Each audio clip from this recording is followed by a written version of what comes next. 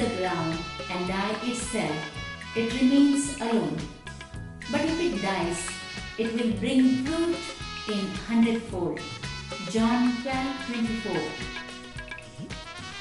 God, in and through the Holy Spirit, inspired many holy men and women to found congregations whose members would resemble the prophets of the time to reach out to the lost, least, and the last.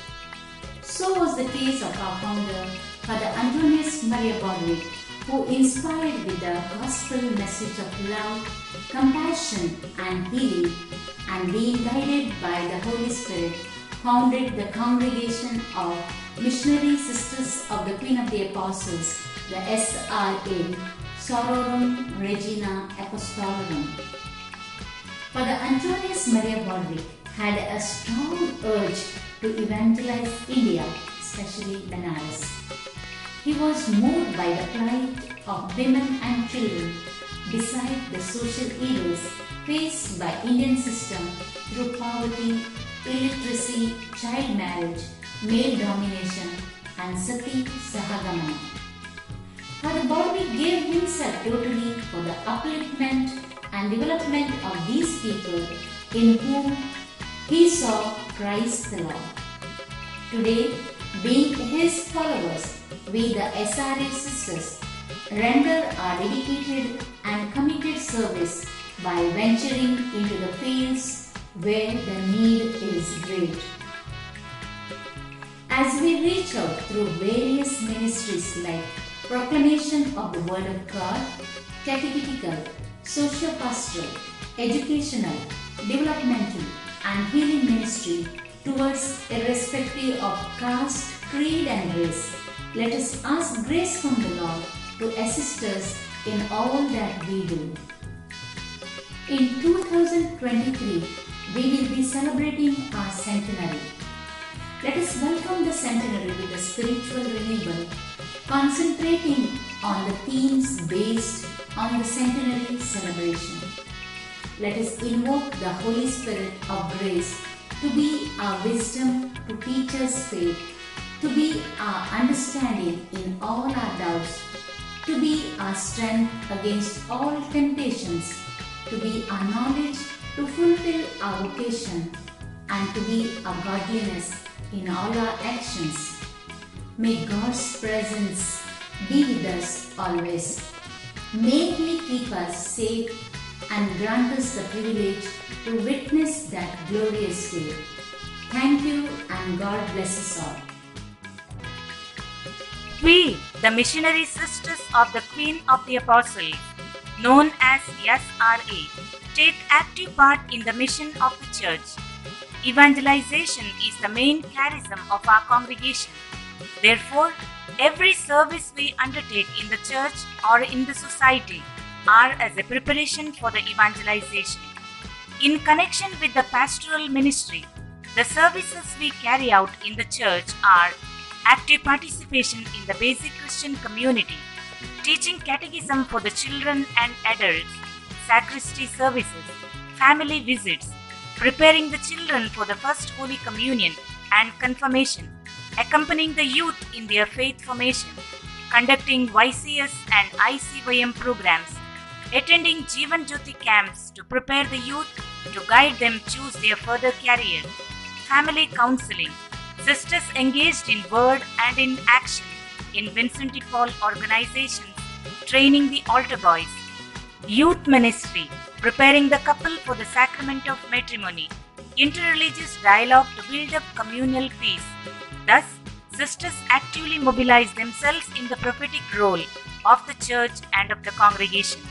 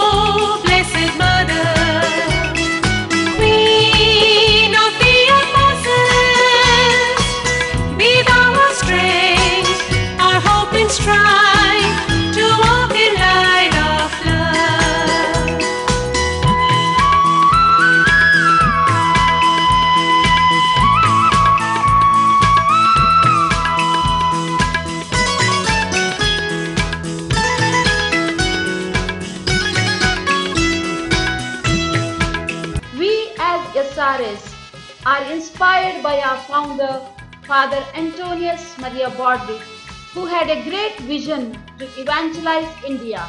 He said, Do not remain seated in your houses, but go out into the huts, into the streets, to the lanes, and proclaim the gospel of Jesus. In Mangalore province, we have five main social service centers. Dharmajyoti Social Center, Vamanjur in Mangalore Diocese, St. Ignatius Health and Education Center, Honavar in Karwar Diocese, Pragati Social Center, Khanapur in Belgaum Diocese, Snehajyoti Social Center, Sorab in Shimoga Diocese, and Deepalaya Center, Bidar in Gulbarga Diocese. Through our social ministry, at present, there are 2,200 poor children who are enrolled in child sponsorship program. They are supported for their education. There are 150 self-help groups for women. We empower them through various community outreach programs such as health awareness, medical camps, career guidance and counseling. Many are trained in vocational courses and through internal loans they are self-employed. Public awareness and education has been our main focus. Thus, we work in 300 villages and 200 parishes. We have been instrumental to ease the pain during the flood breakups and COVID-19 crisis. 100 families were financially supported and 900 families are provided with groceries, household articles, school requirements and awareness programs. More than 2000 families are provided with groceries and sanitizers towards COVID-19 pandemic. Along with social work, the spiritual needs of the families are taken care. Thus, we work for the integral development of the families. We thank all our donors and well-wishers for their kind support and encouragement. We'll be his gentle hands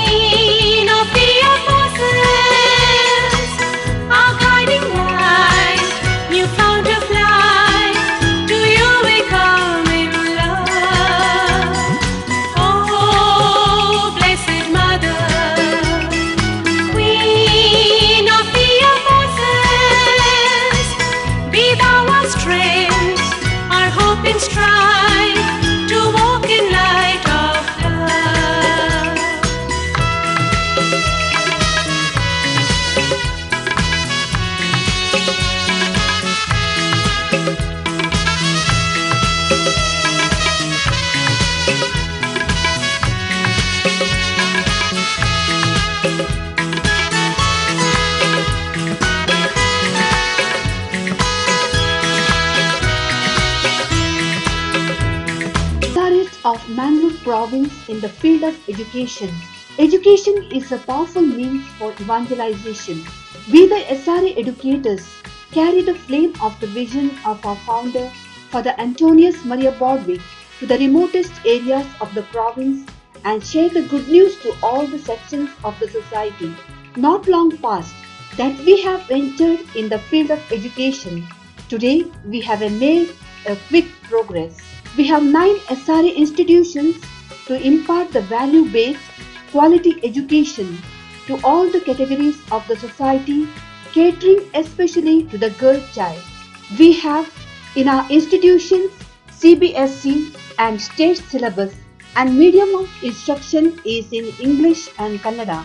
Our institutions are Amarajyoti High School and Composite PU College at Sorab, Shimoga, Mariya Kripa pre primary and Deepalaya CBSE school at Sampur गीदर Vidyajyoti pre primary primary high school at Vamanur Mangalore Premanjali Kannada medium high school at Ujani Bidar holy rosary pre primary lower primary school at Mandrem Goa saint Joseph's pre primary primary school at Mansapur Belgaum R S R A play homes R at Hebgori Bangalore Khanapur Belgaum Agra Mangalore We render service in four diocesan aided schools at Vamanjur, Khanapur, Agra, and Koralguri. SRA educators' presence also felt in five diocesan and unaided schools Mount Rosary High School, Kalyanpur, Lamdan, Manipur, Sorab, Shimoga, Sanpur, Bidar, Agra, Mangalore. Through the education ministry, we SRS work tirelessly towards the character formation of the student and empower the students to face the world with all their capacities and to awaken their thirst for creating a world where all can be able to live with peace and harmony.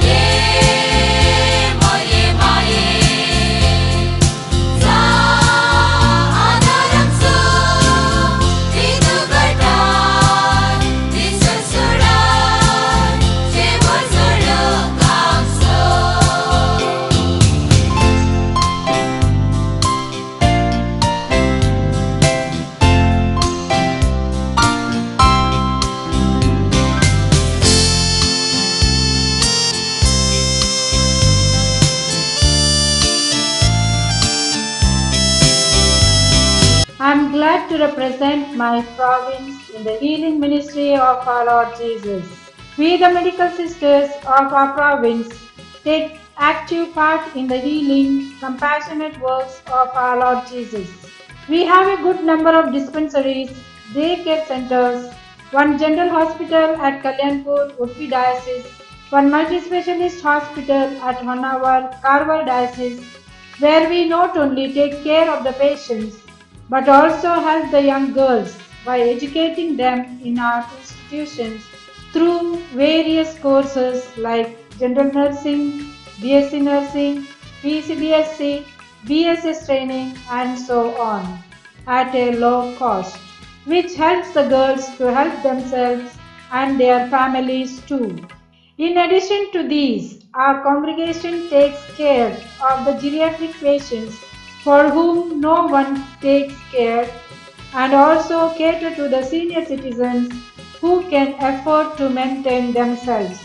I am happy to state that we have a palliative care center at Kalyanpur for the cancer patients free of cost and a home for the emotionally and mentally challenged patients at Honavar.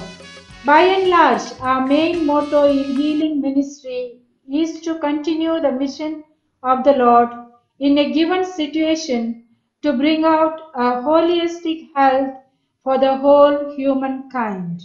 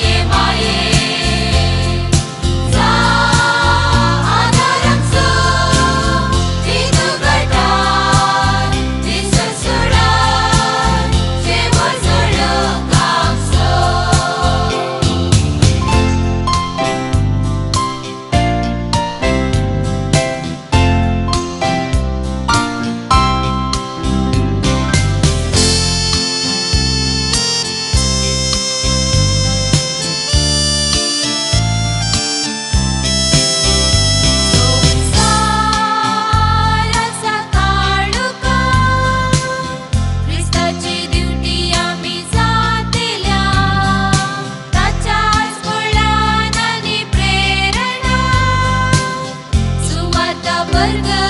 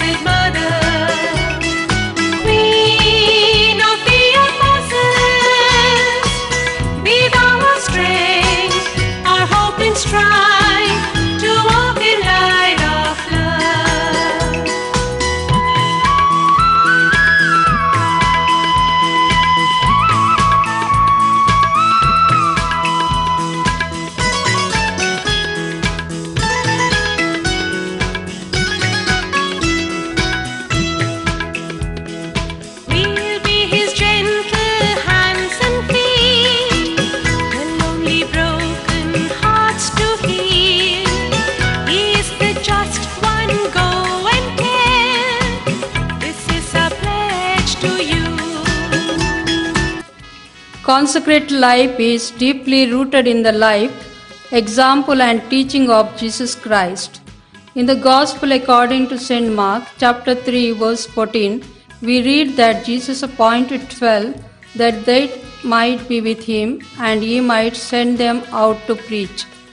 The disciples are called to be with Jesus, to grow in personal relationship with him, and to carry out his mission in the world.